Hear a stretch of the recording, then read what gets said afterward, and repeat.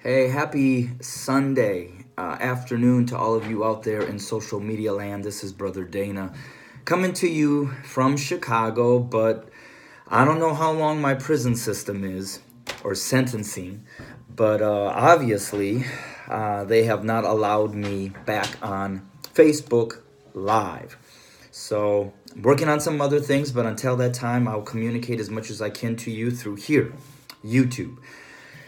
Uh, I am going to start doing. Um, I think it's going to be entitled just some talking and some videos of that. Uh, the Willie Lynch Chronicles, coming from the Lynch family, where I um, want to go through these Willie Lynch letters and really point out things that you are already aware of, but to expose white America in how the Willie Lynch letters and the foundation of that is still very active in our social system in the United States here, in every degree, on every political realm, uh, in every uh, social, you know, economic realm. So, yes, you may be an Oprah Winfrey that's very wealthy, but even within that realm of wealth, she is still not treated equally. And so, as I was going through just the greeting itself, you know, uh, things were coming out to me. But um, one thing, you know, I've been wondering is, you know, why is uh, Trump necessarily trying to get rid of all of our Mexicans and illegal immigrants who we know here in the United States uh, do a lot of, if not most, of the dirty work? Um, you know, I, I have people in St. James, Minnesota that can't stand the Mexicans, but yet they rent apartments to them, uh, cash basis, so they don't have to turn the income in to the government because they're getting it from these low class, in their mind, Mexicans. And yet we degrade the Mexicans for what we call breaking the rules, but yet my very people are getting rent from these breaking rule Mexicans in cash so they don't have to turn it over to the government to file it as income. See, and my white Americans want to keep thinking that we are so righteous and they're like the Pharisees. And I'm telling you because I know you see it and I'm going to acknowledge it. So as I'm reading through this, I'm like, you know, why again does Trump want to get rid of all these illegal immigrants that we know are doing the dirty work. And we've already heard things about California and the picking of the fruit and all of that stuff. But as I was reading through just the greeting, um, here, uh, Willie Lynch, and I'm going to go into this deeper at other times, but he said, You are not only losing valuable stock by hangings, you are having uprisings. Slaves are running away. Your crops are sometimes left in the field too long for maximum profit. Well, see, by getting rid of all these illegal immigrants who are taking the job of the slave, we are going to replace these illegal immigrants with the people that should be doing it in the first place, which are who we took to this country as slaves, which are you, my black brothers and sisters, but now I know as the chosen of the Most High, the true Hebrews. That's the plan because we need to really put you back in position where you are working for us for maximum profit. That's right now we have the correctional system. That's where we are getting maximum profit or the modern day cotton field from the slaves. But why not take you and instead of just having you sit and rot in these prisons, that if we get rid of these illegal immigrants that we see also as our predators, we can then make these prisons where our black brothers and sisters are just being lazy, we'll get them to go out there and work those fields. We'll put them in deeper bondage. And that is exactly what Pharaoh did in the process and in the time when Moses was declaring to Pharaoh to let my people go. when he then caused your ancestors to work even harder, putting you back into a submissive position, making you understand, dang it, you are the slave, we are the master. Now get back into place. That's the reason why Trump and the white evangelicals are really getting rid of Mexicans and, and, illegal immigrants, such as those individuals and those that are lumped into that category, because we need to put the people that we brought to this nation into those positions in the fields under our jurisdiction. Those were the Africans that we brought here the original Hebrews, the chosen people of the Most High. But this time, be encouraged because I want you to know this is not for your continued oppression. But this is the darkest hour before your freedom is given to you. Um, and it won't be given to you by us, it will be given to you by the Most High. But the hardships and the all of the you know plights and and, uh, curses that fell upon the Egyptians are, is about to hit America, white America, those who refuse, those who refuse to accept, acknowledge, repent by repaying the true Jews. Hebrews. And the reason why I said Jews is because my white Americans honor Jews and will give money for Jews for Jesus to convert them.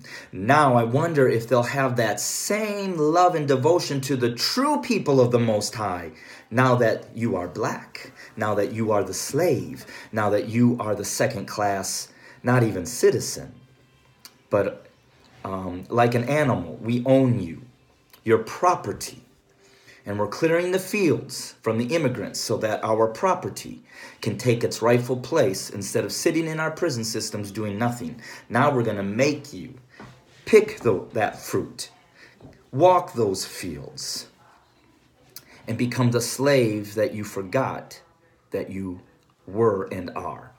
So, anyways, this is uh, Brother Dana at least giving a little um, hi out there to you um, until I get off Facebook Live. Uh, but I know that time is coming anyway. I have some people that have been asking me about One Love t shirts, and I got some One Love t shirts in. Uh, if you can see, that is the front, and um, this is the back. Uh, this is purple. I also have white, and then I also have black. Uh, they're not really a t shirt, but they're made more out of that jersey material anyway, um, everything that I do, I do with my youth and in my mentoring programs, you know, is funded by myself, which is my, you know, 10 to 4 job.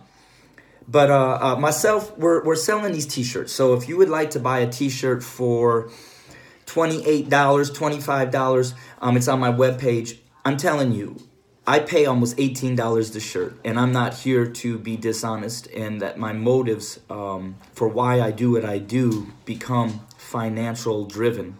No, they're passionately driven for the people that I love. But um, if if you are interested in a T-shirt, go ahead and place an order. Um, the few dollars extra that uh, comes from that T-shirt goes right into my mentoring programs, and I'm traveling down to um, to Jacksonville, Florida, uh, in June. Asked to come down and speak at a Hebrew conference. And you know the finances are not there to pay me and so i have no uh, you know hesitation that i'll save up what i have to do. But i know i've got some followers and i know some of you um, i do believe you trust my heart. But um, grab yourself a t-shirt. Uh, go to my webpage. I'll get them sent out to you. And the, the unique thing about that is these t-shirts and everything that you see on them came, is coming from a, a brother of ours, a Hebrew brother now down in Texas, and you'll see him on my webpage. Uh, all he wants to do is build up his printing business so that he can employ some of these young men that our society has wrongfully and too longfully put into our prison systems to help run his company And so not only does this support one love, but it also goes back and supports this young man down in Texas that's trying to build uh, a, a business that will be kingdom focused. And so I use this young man, and we have be we've developed a relationship over the last couple of years. I've never met him yet, but but he'll call me up and just be like, "Hey, brother Dana, how you doing?" And that's that is the unity that I really declare upon us as, and I'm grafted in, and I'm going to I'm going to boldly take my place as a grafted in brother to, of to the my brothers and sisters in the Hebrew faith, and I'm professing that actually as well. Uh, I went into a, an African store and uh, the lady asked, you know, where are you from? And then she said, are you a pastor? And I said, well, no, but I'm a believer now in as my faith in my Hebrew belief. So, and I said, I'm learning that. She gave me a great big hug. She is from West Africa, Ghana.